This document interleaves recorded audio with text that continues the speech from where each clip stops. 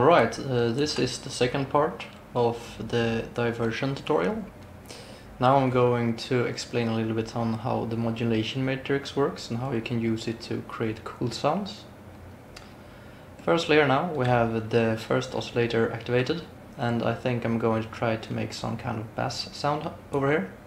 So I'm going to uh, put octave down two steps.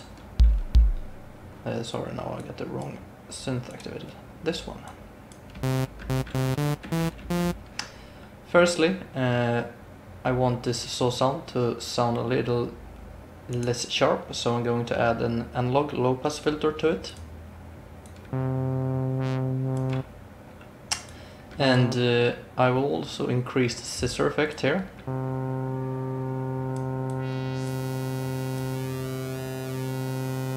Just by a little bit. And then I'll go to uh, erosion, I think.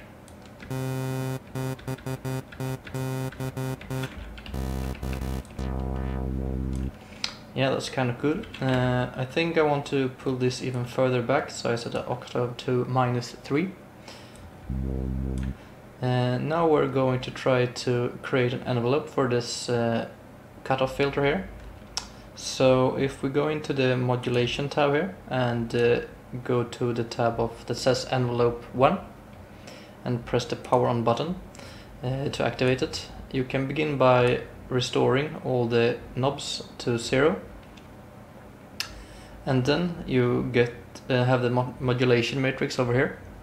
Uh, the first little field here is uh, which component you want to use as a uh, source that should control uh, a certain target. And I want the envelope 1 to control the oscillator 1 filter cutoff by selecting it here. And you press the right mouse button to get up this menu here. And uh, the middle field will control how much uh, of the uh, how much the envelope should control the cutoff effect and you can notice here uh, that we get a little orange uh, marking. Uh, it highlights how much we have selected uh, the modulation matrix to control the cutoff on the low pass filter. So if I bring this back a little bit, uh, we almost hear nothing. The point with this is that I want uh, to be a kind of a dirty uh, bass, so I'm going to select uh, the overdrive of the oscillator, pick sine and use drive, just a little bit. After I've done that, I'm going to add a little bit extra depth by activating the second oscillator, pick sine here instead, and pull that down to minus 3.2. Now uh, the same effect as we had up here, the analog low pass filter is going to be created. Same type of overdrive too. And let's see how much uh, we want the an envelope 1 to control the cutoff on the second filter instead.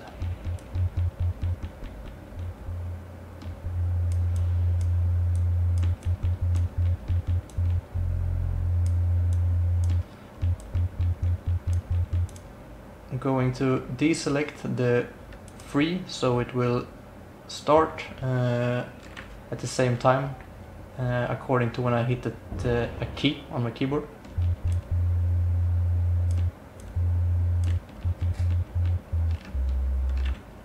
Yep, okay, and now you have to increase the envelope uh, to get the effect started.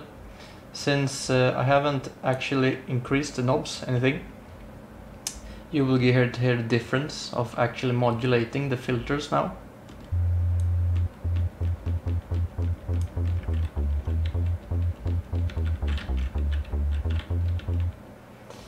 I'm going to add a little bit more signal to Bass 2. An easy way to boost the signal.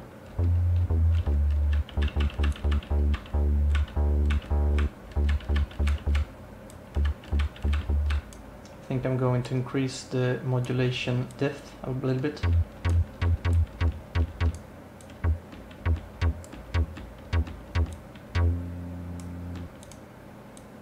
I'm going to change the volume envelope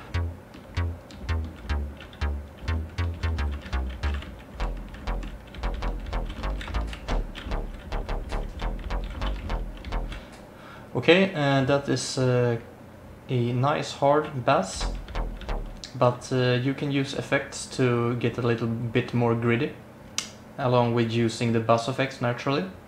So firstly here I'm going to add on bus 1 a acid low pass.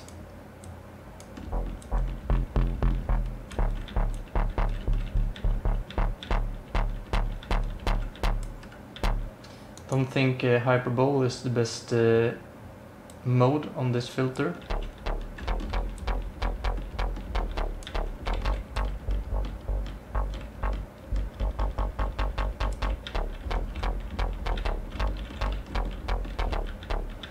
Okay, I'm quite happy with that. It will add just a little bit extra grit uh, to the sound. If we deactivate this bus, you will hear it.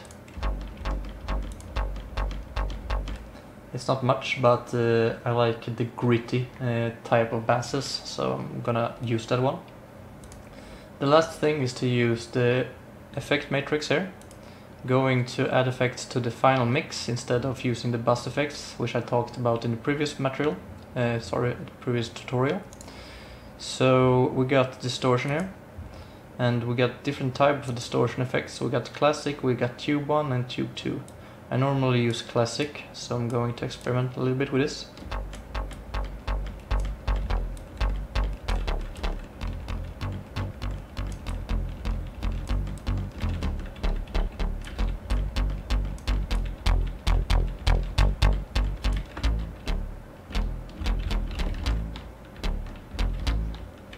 Now, uh, another thing with this bass, I don't want to be able to do chords with it, because it will sound horrible, so I'm just going to allow one key at a time.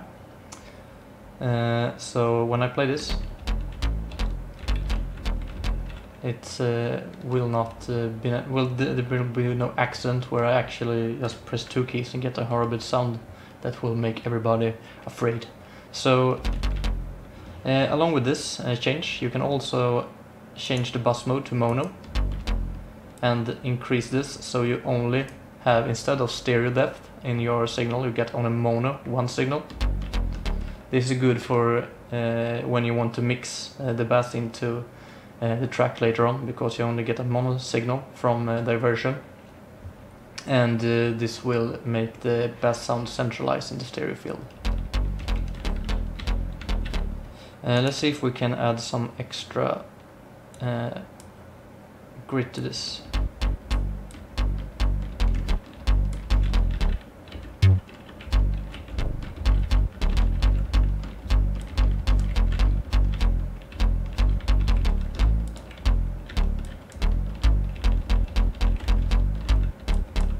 No, not gonna use any glide on this one.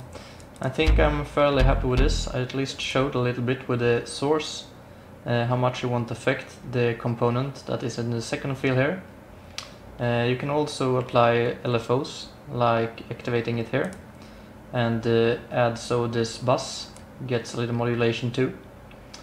And uh, you get the source from the modulation field, and then you increase how much it should affect, and then you find the component you want to use, in this case the bus, and the filter from bus 1. I want this to start when I hit a note. And I want this to go a little bit faster, I think. And I don't want to use a triangle shape on the LFO, I want a sine shape. Or a saw, I'm not sure yet. Yeah, I think so is the best one uh, right now.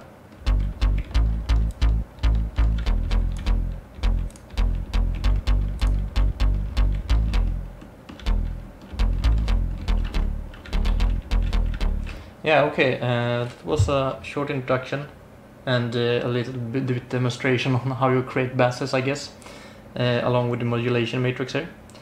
Uh, if you wonder uh, if the modulation matrix will uh, be enough, you have different tabs up here that makes you able to create even more modulations. So you have essentially one, two, three, four, five, six times four fields uh, to occupy the modulation matrix with. So yeah, you should be able to create kind of uh, complex sounds with this.